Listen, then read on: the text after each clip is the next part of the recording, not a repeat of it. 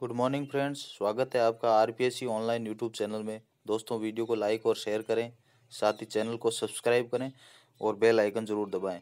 दोस्तों, ये खबर उन स्वतंत्रता सेनानियों के लिए है जिन्होंने हमारी आज़ादी में बहुत महत्वपूर्ण भूमिका निभाई है। तो गहलोत सरकार ने उनकी पेंशन में बढ़ोतरी का ऐलान किया है।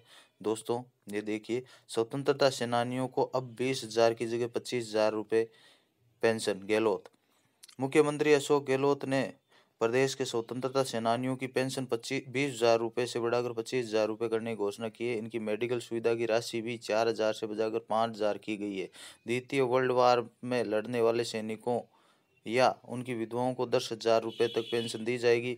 प्रदेश में अमन शांति व्यवस्था के लिए डायरेक्टरेट या डिपार्टमेंट भी बनेगा, जिस पर निर्णय जल्द होगा। शुक्रवार को बिरला ऑडिटोरियम में महात्मा गांधी की 125वीं जयंती वर्ष में स्वतंत्रता सेनानी एवं गांधीवादी विचारक एस एन सुब्बा राव के इक्यानवे जन्म दिवस पर आयोजित कार्यक्रम में ये घोषणा की गई। प्रदेश में करीब एक सौ पचहत्तर स्वतंत्रता सेनानी है।